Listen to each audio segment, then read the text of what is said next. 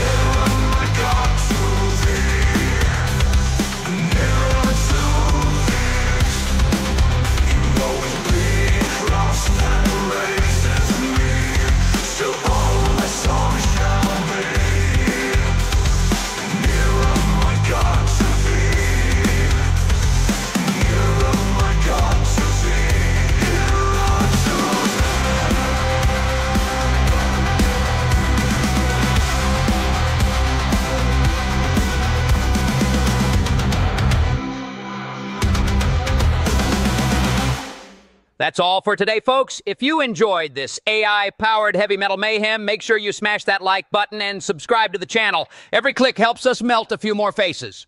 And hey, why not leave a comment with your favorite old school Christian hymns that you'd love to see get the full AI heavy metal treatment? You drop the title and we'll turn it up to 11. Hey, until next time, keep it loud, keep it proud, and keep it heavy.